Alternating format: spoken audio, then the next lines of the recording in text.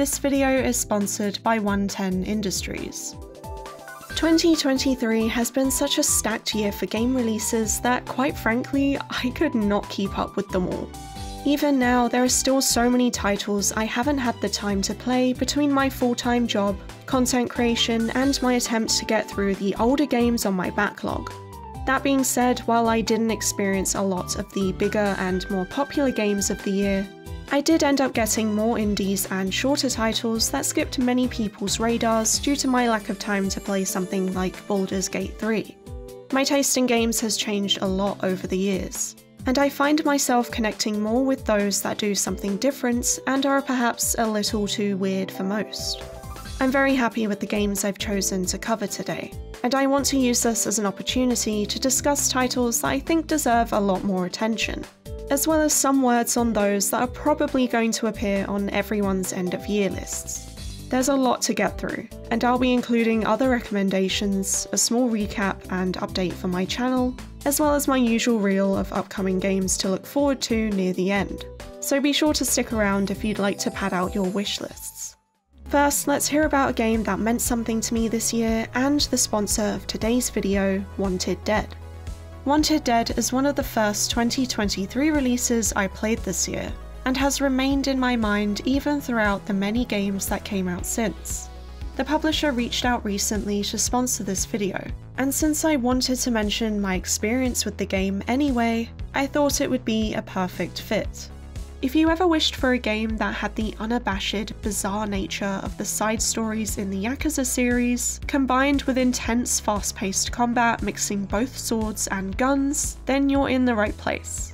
Apart from my two favourite things making an appearance, that being Cats and Stefanie Joosten, there are also mini games like karaoke, ramen eating competitions, and a side scrolling shoot 'em up.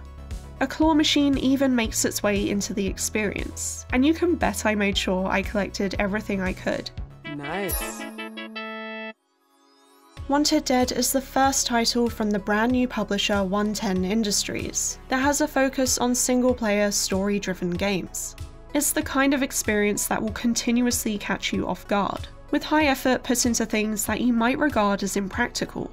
I mean, there are anime cutscenes thrown into the mix that really do add to the variety of visuals and gameplay styles existing in this unique yet wonderfully nonsensical cyberpunk world.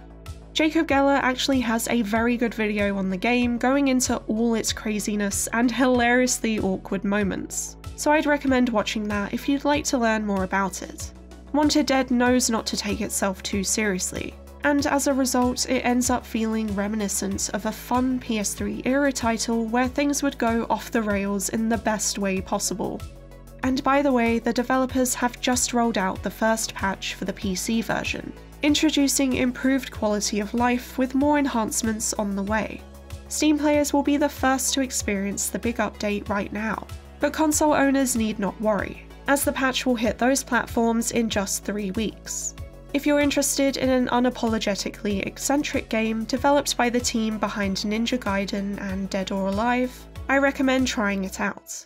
It's available on PS4, PS5, PC, both Steam and Epic Games Store, as well as Xbox Series consoles and Xbox One. And you can gear up for an epic adventure in Wanted Dead with 50% off on Steam by using the link in the description, and this special offer is applicable until January 4th. Prepare for this action packed hybrid slasher shooter and let chaos begin. A big thank you to 110 Industries for supporting the channel. I treat video games as an opportunity to visit a new world and see the sights it has to offer, kind of like a vacation. I don't need a game to have detailed mechanics or a comprehensive story from start to finish. I just want to feel something. The Arsenal's atmosphere alone is worth the price of entry. Rooms and spaces seem alive, whether they are depressingly empty or noisily cluttered. At the very start, it feels as if you've been dropped off at the wrong spot on a cold night, but thankfully it's just a short walk to where you're meant to be. A cluster of buildings giving off a warm light not too far from you. The game's Russian speaking inhabitants give some fairly bleak words that hone in on how there aren't really any opportunities here, and there's very little to do apart from, I guess, eating lays and drinking alcohol. There are plastic bags swirling in the wind and mounds of trash all over the place. Cars will sometimes whir past with less than optimal driving skills, blasting bass heavy music that fades off into the distance along with them. Even the out of bounds messages have a peculiar vibe to them. One of the first indoor scenes you'll likely find yourself in is the club, its pounding beats audible as you approach the decrepit exterior. As I made my way up the stairs to its entrance, the deafening music pulsing from the speakers grew closer, until I was faced with overstimulating lights flashing upon the people dancing and drinking, muffled shouts poking through the music. I joined in, consuming as many drinks as I could from the surrounding tables, and dancing with the others while my camera ebbed and flowed in nauseating movements, occasionally pressing the smoke button. It is by far the most depressing and accurate depiction of a club I've seen in a game. The club's exit hilariously leads you directly into a pharmacy, where you can use a blood pressure monitor to check the health of your circulatory system. This moment unlocked a memory for me, and I remembered when I would visit Serbia as a child, and my family members would compete with each other on who has the better blood pressure reading. The architecture and culture in the game are similar to what I would see there, so as grim as some of it was, it was still homely to me. I would watch from the rooftop of a building, seeing a town centre that is foreign to me yet looks so familiar. There was also an outdoor area dotted with tables and conversations, fairy lights, and autumnal coziness. I had been here before on a childhood holiday, sitting with family and eating good food. It was beautiful, and I don't think I'm ever going to be able to fully describe what it felt like to experience that again in that moment. I think there's something recognisable for everyone who plays Neyasnoe, whether it's resonating with a line of dialogue or the ambience of a room or place. Of course, there's also some stuff that is hilariously bizarre. For example, I walked into a store with a radio playing classical music, bought a kebab, ate it, then pet the giant rat scuttling around and contracted the plague. Later on, my screen swirled from all the virtual beers I downed as I listened to a man recite a poem on a stage in an art gallery pretending to act sober while I watch the crowd applaud the end of his performance. The game is roughly an hour long, but in such a short amount of time, it still managed to leave a surprisingly strong mark on me. Before the Green Moon is a different take on your usual farming sim. It takes place in a small community situated at the bottom of a space elevator, where you get your own farmland to grow crops and raise chickens all with the goal of saving up enough money to buy tickets to the moon. This place isn't your usual cozy, magical countryside town, and is instead a fairly bleak and even slightly ugly neighbourhood, which also extends to the art style of the characters too. Overall, the visual style made me see it as a kind of lost PS2 or GameCube game, so much so I actually bumped down the graphics settings to add to that feeling. The sci fi setting brings about an alien air to its world, yet I found its oddness extremely refreshing amidst all the other Harvest Moon and Stardew Valley clones that exist. The moments of warmth and beauty dotted throughout the game are amplified by the surrounding gloominess, and over time I began to appreciate this place. The time of day is signalled by a close up view of a small section in your current area, highlighting little pockets to admire in a new light. You can also find viewing spots around the town that show off a distant structure or landscape you can indulge in momentarily. The architecture and interiors in Before the Green Moon are often strange, and look somewhat futuristic, yet are mostly built from scraps. The nearby space elevator isn't just a large static object. It actually brings about some changes throughout the town depending on if it's docked or not, Every few days or so, people from the moon will descend upon the neighbourhood, all the while ignoring the player and littering the town with trash, which you can pick up for some extra cash or simply for a sense of cleanliness. It was a contrast to the more intimate days you have with the other residents, and provided a sense of otherness between the two communities. In a lot of ways, I felt more isolated when surrounded by these crowds of new people. The game isn't that long and doesn't have all that much to do. There's quite literally only six characters you can engage with, although as someone who is often overwhelmed by everything there is to do in titles of this genre, I felt more compelled to get to know each individual resident more than I might have otherwise. Mechanically, the gameplay available isn't that intricate, but what impressed me the most was how you can end your time with the game. A lot of farming sims usually have the end goal be something like making a load of money, or securing a romantic partner, or saving the community. Everything will be to make a home out of the virtual space granted to you. Before the Green Moon, of course, lets you do that too, but it also gives you the option to leave it all behind. And for me, that was the most special part.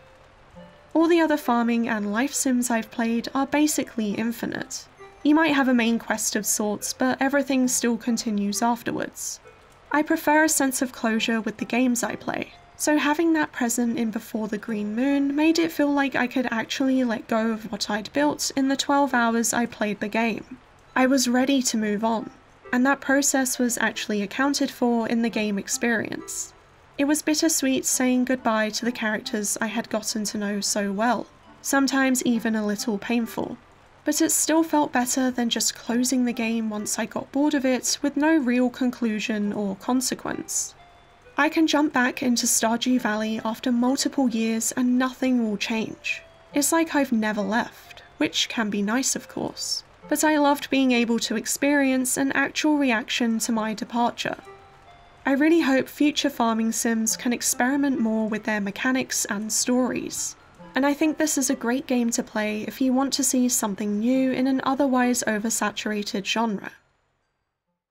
I love when games possess that Studio Ghibli feel, whether it's in its gameplay or art direction. Titles like Sable, the Boku no Natsuyasumi series, or any Fumito Ueda game all have this strong essence and I can associate each of them with one or several movies in the Ghibli catalogue.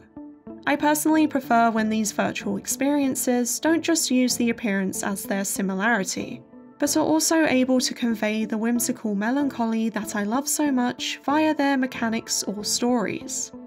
Even though Ni no Kuni, for example, quite literally involved the studio in some parts of its creation, it never really managed to provide me with the kinds of themes I'm drawn to, and that's where Season A Letter to the Future comes in. It's a game about collecting memories in a world where mysterious events will wash everything away, and explores the beauty in the smallest of things, but also the impermanence of it all. It's basically the video game version of Mono no Aware, a Japanese phrase that describes the pathos of things, and an awareness and appreciation of their inevitable ends brought by the passage of time. As you ride your bicycle through the stunning backdrops of the game's setting, you document the sights, sounds, and words you found most important, filling the pages of your in game journal. You can speak to other characters and unearth the history that takes root in these places, going at your own pace as you take in your surroundings. It almost seems more like a poem than a game, which you can definitely see in its writing and dialogue.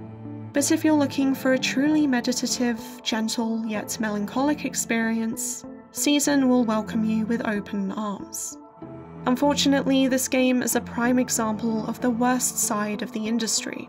Scavenger Studio laid off over half of its developers, stating that Season did not meet their commercial expectations.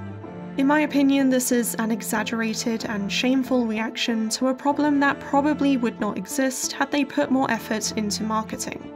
And I remember people saying how they had no idea this game came out despite being interested after watching its initial trailers. Season has overwhelmingly positive reviews on Steam alone, and I can't believe that developers can make such impactful games to then be rewarded with losing their job. Over 6,000 workers in the industry have been laid off this year. So while we've gotten some seriously amazing titles in 2023 that deserve celebration, I think it's crucial to be aware of the human cost that exists under the surface. I really hope this side of the industry can make serious changes, and developers can continue to make the games we love with all the stability and protection they deserve. Impressively made by one person, Swollen to Bursting Until I Am Disappearing on Purpose, shortened to Swollen to Bursting, is a surreal RPG Maker game about a flying saucer that crashes in a town called Vomit. You take control of a post office worker and uncover the secrets lying within the mysterious spacecraft. Much like Yume Nikki, the plot and visuals are very abstract, and require the player to find different effects, which, when equipped, change the protagonist's appearance and ability. Locating these effects and their uses unlock new areas in order to progress. But there is also a light combat feature where the person with the highest level wins the battle. In the case of having a lower level, you will immediately lose and be kicked out of the game. However, I believe this is being updated in about a month and you'll just be put back to your last save instead. Regardless, I highly recommend saving often to make sure that any loss of progress is minimal. Obviously, Earthbound and Yume Nikki are massive influences on the game, and I'd even say they're required playing to not only appreciate the references, but also fully understand how to make your way through Swollen to Bursting. Many actions needed in the game can be quite obscure if you're unaware of certain tropes associated with those kinds of RPGs. Like finding pathways by walking into a specific part of a wall that looks like a normal boundary. It's tough talking about the puzzle aspect of gameplay since I don't want to give solutions away, but so long as you make sure to equip the effects you find and talk to NPCs, you should be given enough hints to move forward. Everything about this game is so wonderfully bizarre and oftentimes eerie. Story wise, while it does feature a good bit of humour, it also covers some very dark topics, so don't let the cute side of the visuals fool you. On that note, I also want to say that if you ever wanted to play a game that has the same vibe as Petscop, this definitely scratches that itch. Swollen to Bursting's aesthetic, while sporting some clear influences, still feels like nothing I've ever played before. Its use of colour and both 2D and 3D elements was just so perfect at portraying a dreamlike world with its strange varying themes. And if we're just talking art style, this is one of the top contenders for my favourite visuals in a game this year. As far as I know, there are three endings in the game, and hunting all of them down is something I don't think I'm smart enough to do. But my playthrough for the one I got was just under two hours, the game is free to play on Steam, which feels like daylight robbery, but at least you don't have an excuse to not try it out. Corn Kidz 64 is the most nostalgic title I've played in years. Every aspect feels so accurate to the late 90s from its music to its visuals, complete with a 4x3 aspect ratio and scan lines. When I was a kid, I would play Spyro every time I visited my friend's house, and playing Corn Kidz was like being in that same memory, but scaled to my current gaming experience I've acquired over the many years since. It has that same magical quality I felt in games during my childhood, but now with a level of challenge I currently enjoy. It definitely took a lot of deaths getting to the credits of the game, which could also be due to me not normally playing 3D platformers anymore. But either way, getting to grips with the character's movement was a worthwhile journey for me, the animations within the game are overflowing with personality, and every step, turn, and jump felt as good to execute as it did to look at. It's got a lot of polish. That reminded me of how I would often see many older titles that maybe weren't as smooth to control as I had remembered due to my nostalgia. Except Corn Kidz actually does feel very good to play. The game doesn't overstay its welcome at all and its relatively few levels managed to unravel themselves in ways that kept up my high level of excitement from start to finish. Learning new abilities and finding secrets tucked away inside the world was always an extra boost of joy in my 7 hours or so with the game. The collectibles also offer an extra challenge for players who want more than just the main levels. And while I didn't get them all during my playthrough, I am tempted to go back and find them now that achievements are available too. The characters and environment design are vibrant and charming, providing a light-hearted aesthetic to accompany the simple yet fun dialogue and story. Playing Corn Kidz 64 really feels like travelling in time, and is a phenomenal love letter to that era of 3D platformers that still effortlessly carves out its own identity. I absolutely love the game, and will be keeping an eye out for updates and any future projects from the developer. It's by far the most unsurprising and popular game on my list with over 9,000 Steam reviews, but I had to give a spotlight to Bomb Rush Cyberfunk, my favourite indie game of the year. Jet Set Radio is an all time favourite of mine, and seeing something so faithfully recapture the visual identity of that game while still adding its own flavour is more than I could ever dream of. Even Hideki Naganuma has a few amazing tracks in the game, but the rest of the music was still incredibly catchy and a perfect companion to the funky, futuristic style of the game world. I adore the environment and character design, so exploring every corner of it was something I took great joy in doing. There are plenty of different playable characters and outfit variations to unlock, giving you plenty of reasons to explore all of the content that Bomb Rush has to offer, so I took the time to ensure I could savour every part of it. I'm nowhere near as good at the game as some of the other players I've seen online, but I did spend enough time to learn the skills needed to conquer all the challenges. Eventually, I got to a point where I could flow through areas with relative ease, feeling like I've mastered the virtual playground presented to me. You can change the music that plays through your phone so long as you have collected the tracks in the open world, and I would jump on the game for hours at a time, simply skating around, building up combos, and listening to my favourite music. There are slight differences in the kinds of moves you can pull off, depending on if you're using a skateboard, roller skates, or bike. And subsequently, certain challenges or obstacles will require the appropriate set of wheels. It gives good reason to test out the options available, and not just stick to one thing.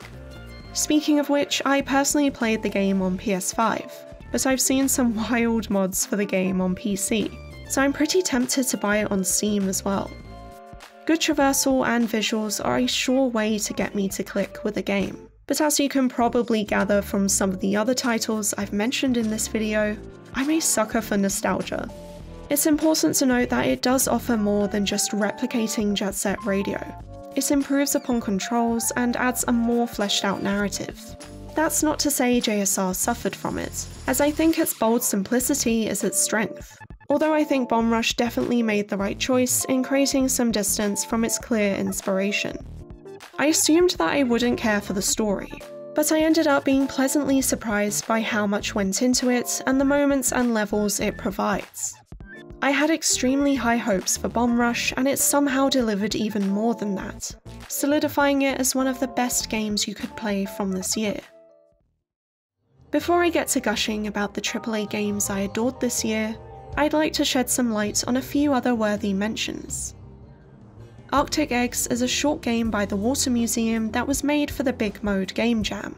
It's a sci fi cooking game where you serve up fried eggs, among other things, to the hungry people in the area. Controlling the frying pan is surprisingly difficult, but boy did I feel like the sickest chef in town finally being able to flip around those fried eggs and cigarettes. The vibes are immaculate, and this is for sure a virtual world worth visiting. There are currently some known issues which can't be fixed until after the game jam is over since it's already been submitted. But I got through it just fine and didn't even realise that the weird mouse sensitivity wasn't intentional so maybe I'm just a hardcore gamer. I don't play multiplayer games that often, and when I do, I usually just play CSGO if I want to numb my brain. This year, however, Lethal Company made huge waves in the online space, and I thought I'd give it a try. It quickly ended up being a favourite of mine this year, even though I don't have nearly as many hours in it as other people. And seeing indie games blow up in popularity to this extent is always cool to see. I'm laughing pretty much the entire time I play Lethal Company, and I've been loving all the updates and mods that have been coming out for it too. Lake Haven Chrysalis is a prequel chapter for the upcoming survival horror game Lake Haven. I was really impressed by it and how it replicates the PS1 aesthetic so well. It's one of those games that wears its inspirations on its sleeve. So much so, there is a certain secret area that Silent Hill fans will really appreciate if they so happen to find it. Overall, Chrysalis captures the classic survival horror feel perfectly, and I can't wait to play the main game when it's out. Finally, I want to give some attention to Misericorde Volume 1, which is the first part in a visual novel series that is based in a convent in 1482. It's a murder mystery that follows a group of nuns after one of them was killed, and the protagonist has to dig around and find out who did it. There aren't any branching choices or anything, and it is strictly linear, but don't let that deter you in any way. The visuals alone are really well done, and helped build a world that I became very invested in. There's a staggering amount of music in the game with over a hundred songs, which also complement the changing atmospheres of Misericorde. Also, from what I understand, both the soundtrack and the game were made by one person. I don't normally play visual novels, and it's rare that one can hold my full attention until the end. But the characters, relationships, and setting of the game were too charming to not want to know what's going to happen next. I'm intrigued to see how the story develops in the future volumes, and if it's as good as this first part was, it could end up having a bigger section in a future end of year video. In terms of the bigger titles of the year, I would like to say I played a decent chunk of the releases we got, so I'll speak on some of my favourites. I received a key from Square Enix for Final Fantasy XVI when it came out, which was a big moment for me since I'm a fan of the series. And while it hasn't beaten 12 for my favourite Final Fantasy game, it was still a brilliant experience with some of the greatest boss fights I've played through in a long time. I will say though, I'm not that into Game of Thrones, and 16 feels very similar in tone and certain story elements. However, I've always enjoyed Final Fantasy for its wildly contrasting installments, and playing through a much darker and mature rated title in the franchise was a good experience. I was looking to spend more time on my Switch this year, and Tears of the Kingdom certainly provided. In fact, there's a particular new area in the game that I was obsessed with as soon as I unlocked it. This environment reminded me so much of Nausicaa of the Valley of the Wind, with its odd vegetation and life forms existing within it. And activating all the light roots was something I did before touching virtually any of the main story. In my opinion, Zelda games and Ghibli movies go hand in hand, and I think Tears of the Kingdom feels like the ultimate testament for that similar atmosphere, touching upon different elements of the studio's works from the light-hearted to the painfully emotional. The building mechanic and sky areas were also a welcome addition for me, which got me to pour in even more hours of playtime into the game, something I didn't think would happen to the extent it did. I'm sure no one is surprised that I'm bringing up Resident Evil 4 Remake, but the week of its release was probably the most fun I had this year. I took some days off work, bought snacks, and stayed up until midnight to play it, and I didn't even record my first playthrough, which is something I usually do with every game. I wanted to just enjoy my time with it, and not have to analyse it in preparation for a video or make notes as I was playing. I can't even explain how happy I was jumping into Leon's shoes, and experiencing such a beloved title in a new package with its familiar characters and places. It was everything I had hoped for, and I could not stop playing it until I completed all the achievements and finished it on every difficulty. In fact, it would be my game of the year if not for a little game called Alan Wake 2. And the award goes to Alan White.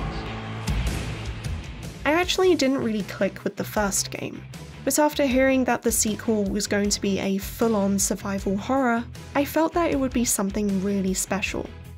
I loved Control so much, and I'm really glad that Alan Wake 2 took a page out of its book and went all out with its surrealism and mixed media style.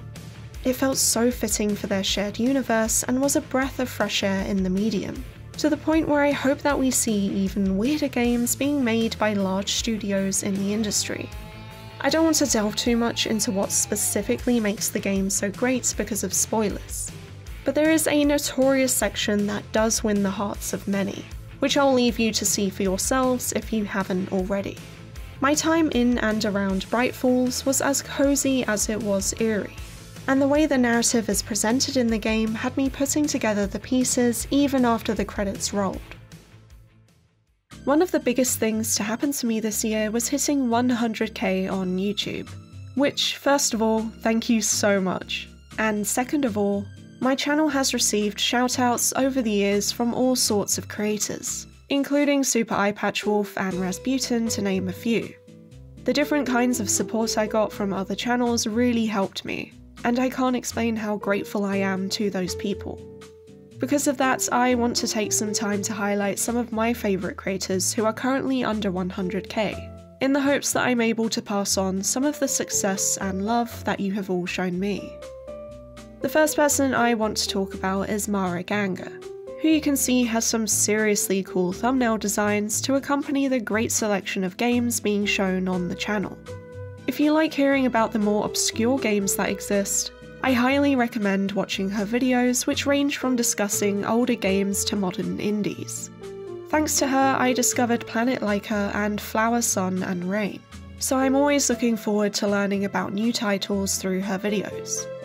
Their bio also reads Style is Substance, which I absolutely stand by as someone who is heavily influenced by visuals in games.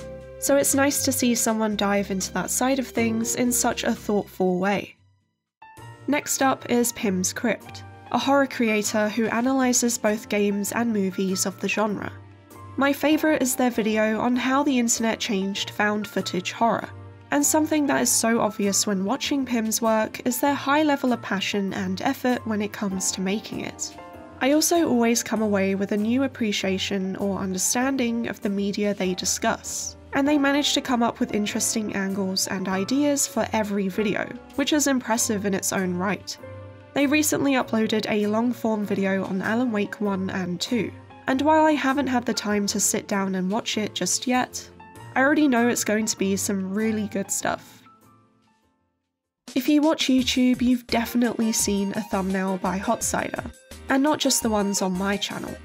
But apart from creating the most iconic images on your homepage and subfeeds, he also makes equally fantastic videos too. From Pizza Tower to TimeSplitters, his commentary and presentation is always top notch and it really is a joy hearing his thoughts on the game design and mechanics of the titles he covers. His output is quite frankly superhuman, but most importantly, never at the detriment of quality. Whether it's several minutes or half an hour long, there's always something to be gained from indulging in his work. Hot Cyder has a stacked library of great videos, and if I had to pick one, I really recommend watching indie games that make the alien human.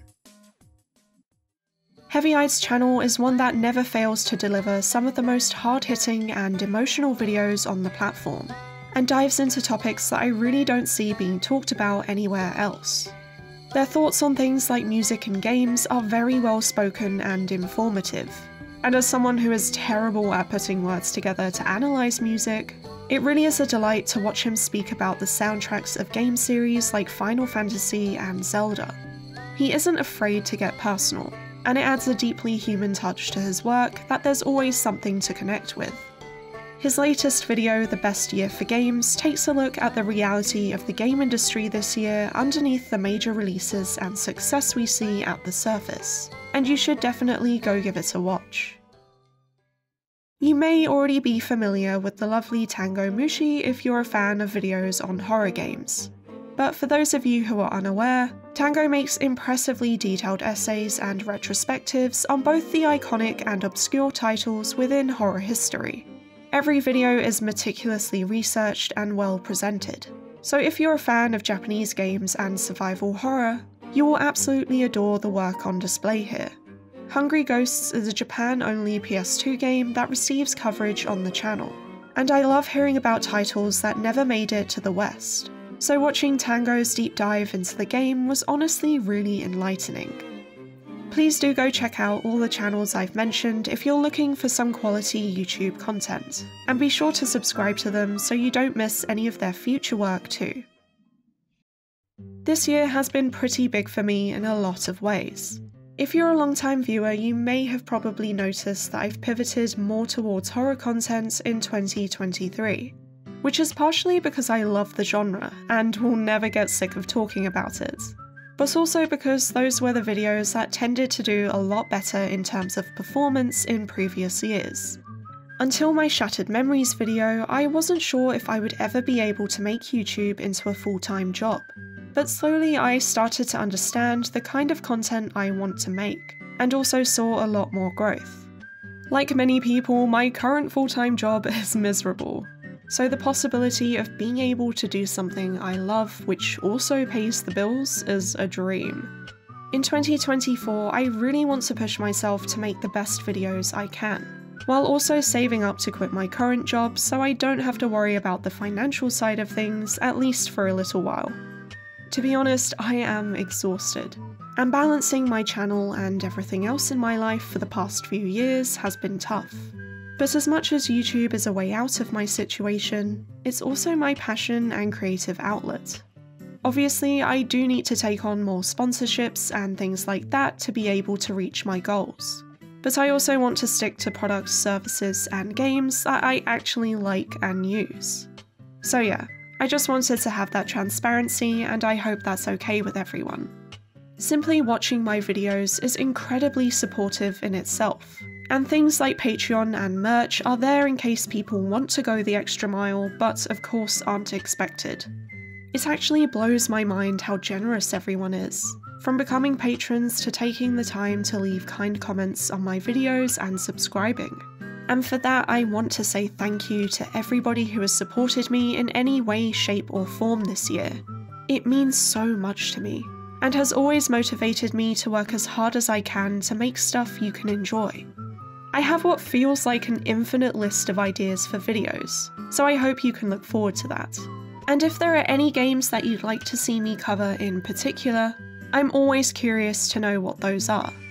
Apart from new videos, there are also going to be many, many exciting games releasing in 2024 and beyond. So I'd like to showcase some of the titles in my usual end of year reel. And in case there are any that catch your eye, I'll have the names at the top left corner.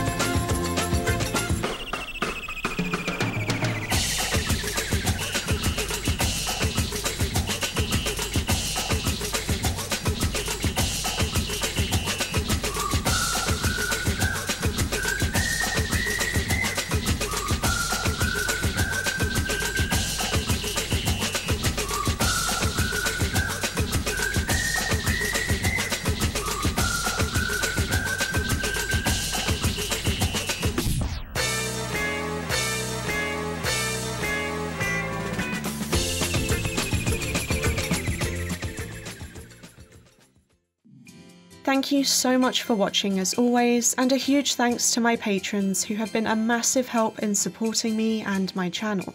I hope you all have a wonderful Christmas and New Year, and I'll see you in 2024.